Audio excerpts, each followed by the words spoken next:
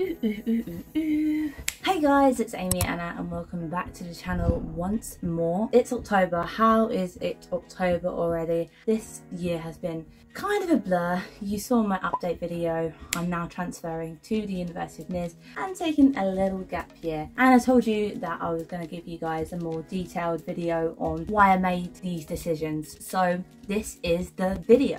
If you haven't already, do check out the video where I unpack my stuff from Ukraine and that's all thanks to Just Volunteering UK. And of course, don't forget to like and subscribe this video, please. And without further ado, let's go.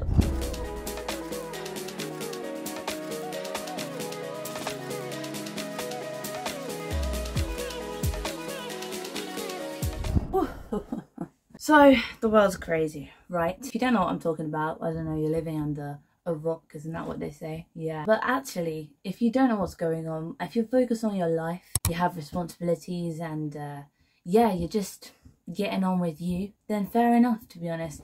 You have to be selfish in this world to survive these days. But when I was making the decision about whether to continue medical school in Dnipro Medical Institute in Eastern Europe, in Ukraine, I had to think of the bigger picture which is something you shouldn't have to think about when you're choosing a medical school, when you're choosing to commit to study, to choose such a selfless job in the world, a doctor. You shouldn't have to think about, you know, if you're safe in that country. That is the primary thing that I that I had to be thinking about. The number one thing I had to think about was my safety. Indeed, that's what I did. I put my safety first. I was studying in Ukraine and now transferred to Serbia. Serbia, though, if you've not checked a map, guys, Serbia is also in Eastern Europe, where all the stuff is going down. And quite frankly, I don't want to go there. This is what I'm doing. I'm not getting involved. That's what's gone on this year. So that's the number one reason why I had to quit medicine for a year. Well, basically, I didn't have a choice. And let me talk you through what options I had and how I came to the decision to take a gap year and transfer to Serbia. My number one option was to continue at Dnipro Medical Institute, which we all know and love, but there's a war going on, guys. For students that have already enrolled, who are already studying, well, studies have continued online this year. But guys, it's not the same as it was before. It's not the same as studying online during a normal, during a normal safe country when things can run smoothly. No, this is online learning when the teachers have been put through the trauma of war, when they don't know that their family is safe, that they're potentially still living in Ukraine and they're fearing for their life when an air raid siren goes off. It's not it's not online learning, is it guys? It's not the same online learning, it's much less organised and of course what we all worry about is whether the university will be recognised in the UK. Now currently DMI for some reason has been put on the maybe accept list by the GMC, the General Medical Council in the UK. I've heard many of reasons why this is, but I can't confirm any of them really. It's all a bit dodgy basically, guys. So for those starting and wanting to start online learning in Ukraine, which a lot of people do still ask me about, I would not choose to start your medical career in Ukraine right now. It's it's not the best it's really like the worst idea probably. The only people it's worth doing online learning for is those in their final year who've studied six years, five years in Ukraine already and have only got one year to go, then then do it. Other than that, it's not a great great place to study at the moment, guys. It's a war. My second option offered to me by my agency, Medlink Students, was Georgia. Perfectly good option. People have been transferred there to the European University in Tbilisi. Tbilisi? Really good experience students are having there. I have one friend studying there. They say that it's a great university, really hands-on learning and it's been great. But the problem is when you transfer to Georgia, you have to start like again. so although you can transfer, you're basically starting again. I think I would have had to started fourth year again. So that's a whole year out of my studies. Plus, again, the safety thing. For me, Georgia is Ukraine 2.0.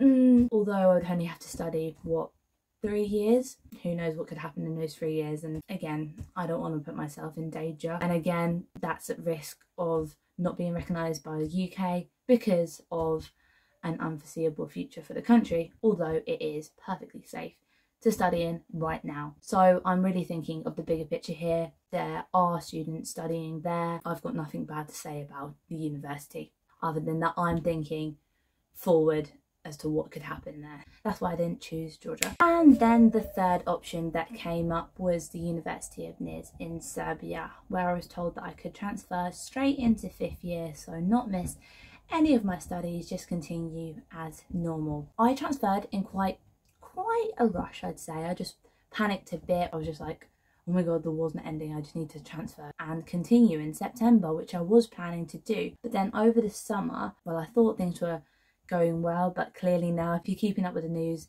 it's not. The whole of Eastern Europe is still crazy right now and I just want to avoid it. But I chose Serbia basically because the tuition fees are the same, your living costs are the same. Yeah, can transfer straight into fifth year. But yeah, I didn't want to go there now because of what's happening. I encourage you to try and think about how it feels to live in a country under the threat of war. Many of us do live in the UK. Yes, we have, you know, bits of terrorism and stuff like that, but we're not under direct threat of being at war. The weeks leading up to the war in Ukraine were scary. I was going through some real emotional trauma there, guys. The British Embassy came down from Kiev to talk to us, and they really gave us the worst possible scenario when they were saying what could happen if you know, war happened imminently, which it basically did. They made us prepare. I had an emergency bag with all my essential documents and things I need ready to go. I was carrying around my passport everywhere. I also had my pepper spray on me all the time. That made me feel safe having my little pot of pepper spray. But the point is, guys, you don't know how it feels until you're in that situation. And I did not want to be put back at square one in a country threatened, constantly checking the government website to see whether my country is safe to live in. You can't study medicine like that. I mean, yeah, it's a challenge, but I'm already challenged myself so much to study medicine, let alone have to worry about my imminent safety. So, yeah, decided to take a gap year. Hidden choice number four. Well, it's not really a a choice but is to restart studies. I'm 24 just and I could just literally start afresh. Number one problem guys, I have no money. If you remember but one of my very early videos, the main reason I chose to study in Ukraine was tuition costs and living costs. It was the only one I could afford. If you look, Eastern Europe is the cheapest place to study. There's scholarships out there, but you need the initial funding costs. Tuition fees are just they just they just they're crazy to study in england anyway is not really a choice for me because I don't like living in England. I don't know if you guys know that I hate England. Don't get me started on the weather. I'm not to get into like, politics and uh, weird changes to society around here as well. It's not for me. Traditional norms around here now are literally being attacked by this need for diversity and equality. It just doesn't make sense. I actually feel like I can't be myself because of that, and that's from a well travelled girl. So, not England, but potentially another country I could restart my studies in. But, like I said, tuition fees and monetization on my videos is dream far, far away. Maybe one day. Subscribe. I document my journey, guys, because I want to inspire anyone to be a doctor, whether you don't have the contacts, if you don't have the family to aspire people from any background to be able to become a doctor. But you know what, guys?